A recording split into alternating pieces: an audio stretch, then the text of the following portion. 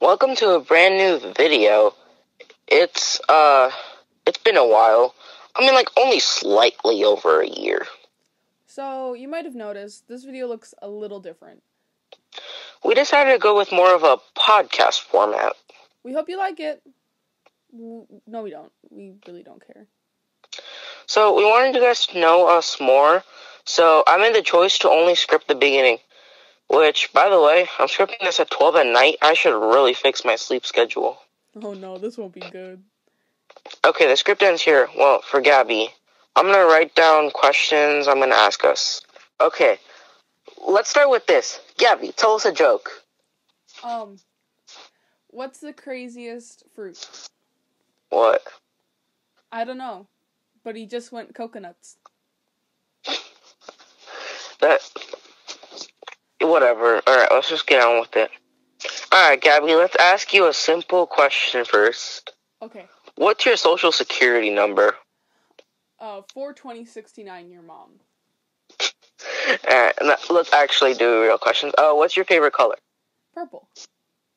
Alright, mine's blue. Uh-huh. Uh, what's your favorite class? oh, science class. It's the only good class left in our school. Alright, what's your favorite grade you were in? I'll have to say fifth grade. That was like the funnest. Mr. Narvez was such a good teacher. Miss Leonard wasn't a good teacher, but my friends were funny. I remember we were working, walking down the hallway once, and we heard her yell at you guys if you like said something about "shut up." We were, all got scared, including Mr. Narvez. But uh, we realized you were just re- she was just reading a book or something. Yeah, listen, Miss Leonard was so loud. I swear to God, I lost the majority of my hearing in that class. We would hear her from like across the hallway. No, because in the fourth grade, before I had her class, I was like with Miss Savova, right? And I went to the bathroom, and I could hear her yelling down the hall, and I was actually gonna cry tears. Actually, Yeah, I went to the bathroom, and you know how the bathroom was like down the hall. I Yeah. was going to cry. That was terrifying. what a baby. I I would also like I wouldn't cry, but I would have been horrified to just hear someone scream from across the hall while I'm in the bathroom. Yeah. That sounds horrifying.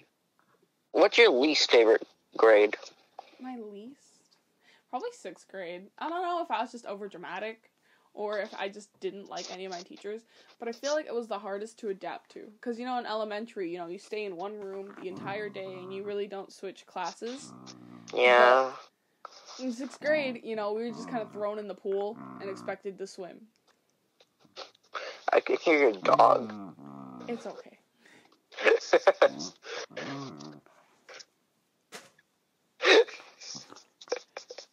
It's okay, I'll keep it in. I'll just like, sorry about my dog.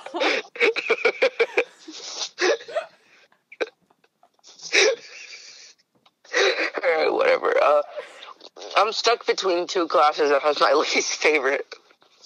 Uh, so seventh grade because that like COVID, all that stuff, e-learning, I got really behind.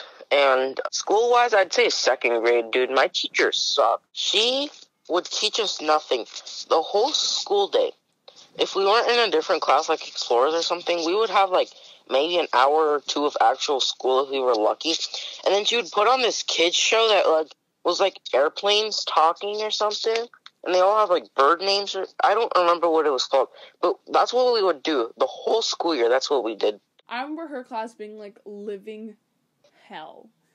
Cause it was so dark in there and she always just put on like some math video and then we'd get like a big worksheet to finish in the week. Oh. Oh, that reminds me. Remember kindergarten, those homework packets we used to get? Yeah, and your parents had to like sign them and crap. And you remember the reading Yeah. stuff? Where it was like a reading Uh, log? I lied yeah. so hard on those. I actually read those. Because, like, the, the books were so easy, and back then I still liked reading.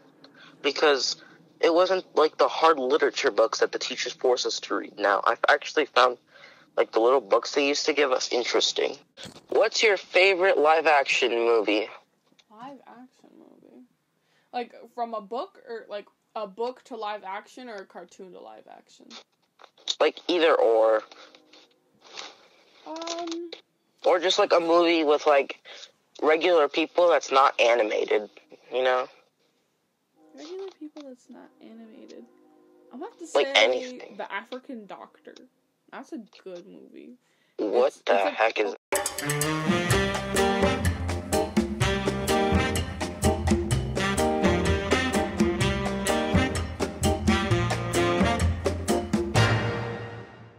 I get it. I also see Tom Holland having a more like cartoony aspect as like the other Spider-Mans have a more mature and like Yeah, I guess not like teenager feeling. and I haven't mentally matured past fourth grade, so No, but what I'm saying is like Spider-Man should be a goofy kid. yeah.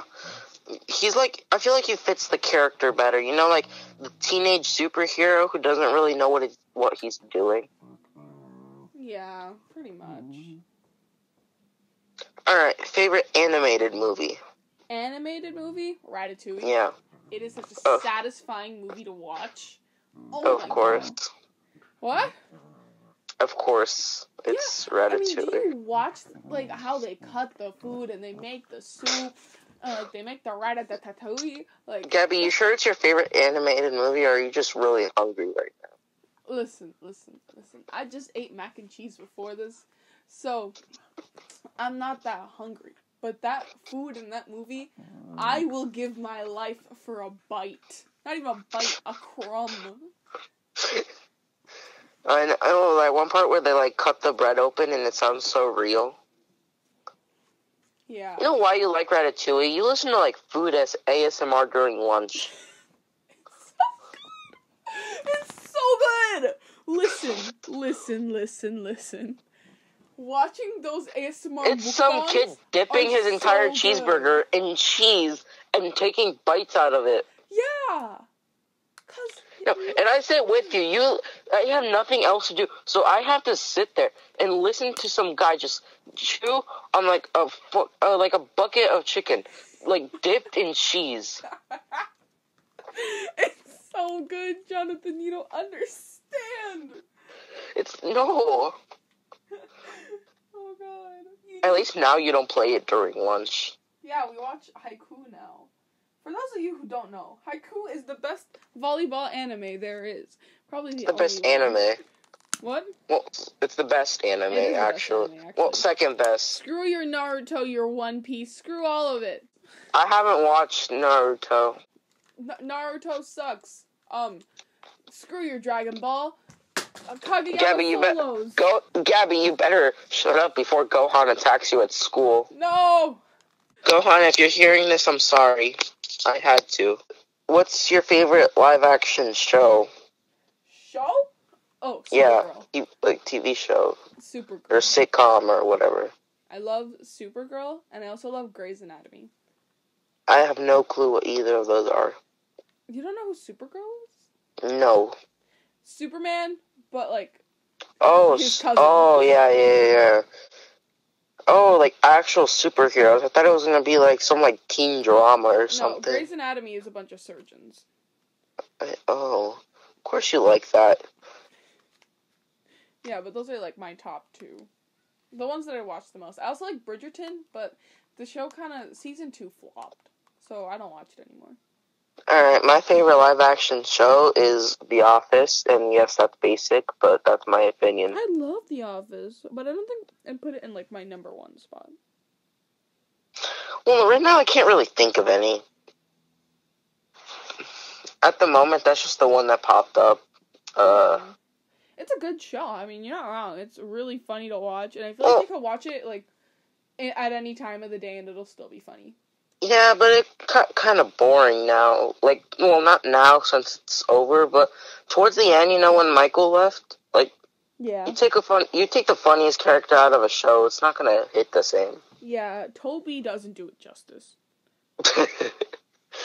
Uh, you know what sucked now? They got it off of Netflix, and now you can only watch it with Peacock. Alright. What's your favorite animated show?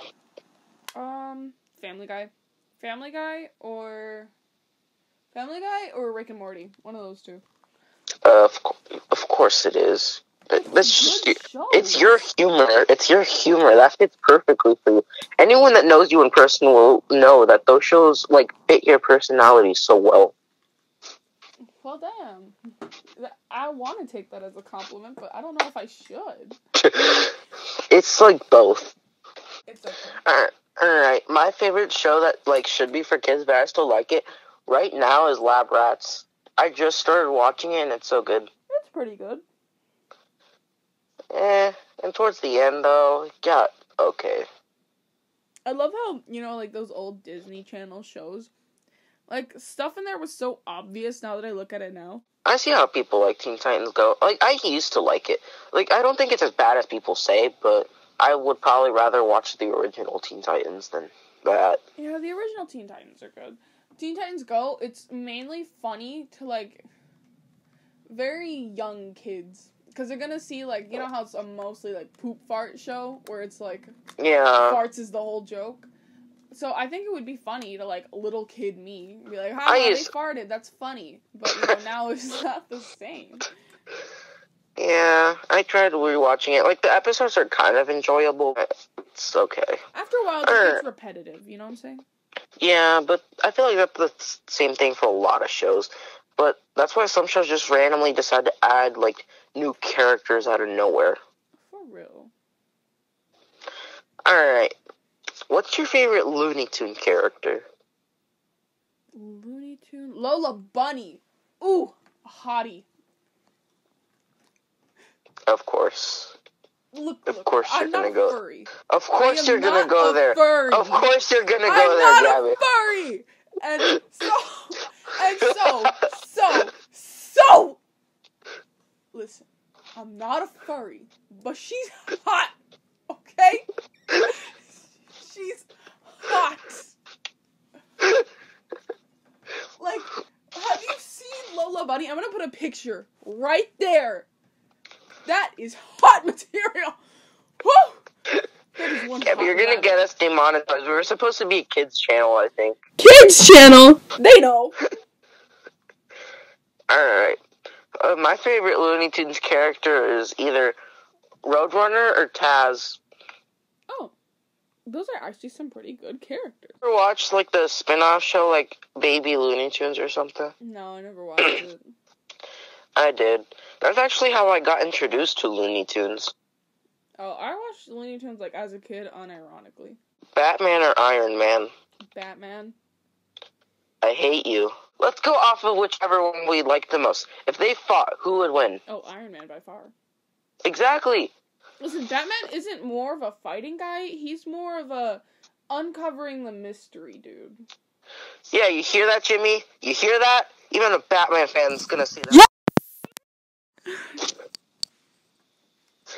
Alright. Alright, your favorite book series. You're gonna say Harry Potter, I know you're going to. Harry Potter or or the Lightning Thief. Question. Mario or Luigi? Oh, Mario. I'm gonna say Luigi just to be different. Oh. Luigi do- Luigi doesn't get enough credit. Mario has more character development. Yeah, like you know, did you watch the like game theory episode that Mario's a psychopath? Yeah. I fully agree with that statement. A psychopath is more interesting to watch than some dude. But Luigi's cool. How? How? He he just is, and he's tall. So, just because you're tall doesn't make you cool, Jonathan. Just because you're short doesn't make you have character development. I have a lot of character development. Yeah, the abusive one. That's what I call you. Damn. Damn. Give me the next question. what are your feelings on the new Wii Sports game? I don't like the characters. They look so modern and gross and weird and not human. Bring back the Mii's! You know, like the Mii's are a separate option, but it sucks that they're not like the main highlight anymore. Yeah, I used to, I, I when I first saw like the Nintendo Sports, I was like, I can't wait to see Mii's, but more modern. You know, give them some more like you can pick their clothes or you know. Yeah, and then you saw, and then you saw this, and you're like, oh no, give me back the That Mii's. looks like what you know what Roblox trying to do right now. I'm so sorry, I'm a Roblox. Oh yeah, that Roblox looks like what to, like, Roblox. Yeah. characters and tell these modern like ugh, these these Fortnite characters. Yeah. What's gonna happen in Nintendo Sports? I They don't even look modern. I wanted to personalize my Mii, you know, put them in cool clothing, better hair options, more face options. I'm just frustrated. Cause You know what sucks? I watched leak footage. They got rid of the Easter egg where you can throw the bowling ball backwards. See, I I w- they ruin a lot of things. I want them to make an update of the game and just bring that back. I will give it a five star review if they just bring back that Easter egg. I like the fact that they have volleyball in it, cause like I don't I don't remember a Wii Sports that had volleyball, and it's kind It of weird how the controls are. Yeah, but what sucks though is badminton and tennis. I don't care; they're somewhat different, but it's like the same thing. You hit something with Badminton tennis. is if volleyball and tennis had a child. Um, I know. I feel like they got kind of lazy with the game. I think yeah, they wanted to be different with the sport, so they put volleyball and badminton in there to be special. Okay, soccer. How like It's I don't not a team sport understand. anymore because for soccer, like either You you need the to buy an controller. or you're just playing with your Joy Cons. That's just like a like a sad version. Like if I play that, I'm just gonna feel like I'm playing a sad version of FIFA. I Yeah, you you and your digital games can get out of this house, Gabby. Just leave with you and your physical digital games. I am not leaving my physical games. No, leave with all your digital games. You don't. I don't respect those. I like the digital games because I don't like wasting space.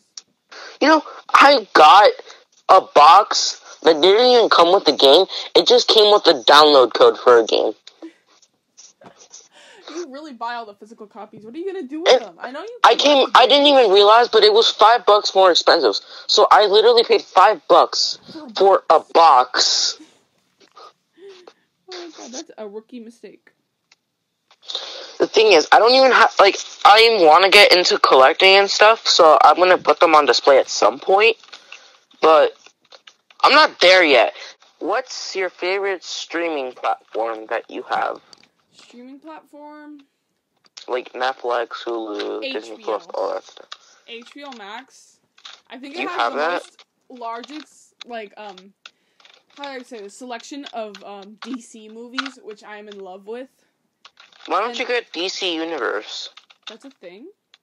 Yeah, it's literally just DC stuff. Alright. It's probably either Disney Plus, because I like all the Disney shows and stuff, and Marvel, because I'm a Marvel person. Or well, it well, used to be Hulu, because of all the good TV shows, but I already watched like all of them, so. You know, Netflix used to be good, Netflix. but now every, everyone's getting rid of everything on Netflix. We're gonna come back one day, and there's gonna be just like, like three shows, and that's it. I just I I feel like that um a lot of platforms are trying to be unique and like starting their own shows like Euphoria. I feel like broke it out for everyone for like uh, their own streaming platforms to have like their own thing. Yeah. Although to be fair, I feel like Disney Pl- Disney Plus has a really good reason to exist because like Disney owns like half the universe at this point. Like they deserve their streaming platform. Disney, All right. Goodbye, goodbye. watermelon. Because I forgot to say that this video. Water.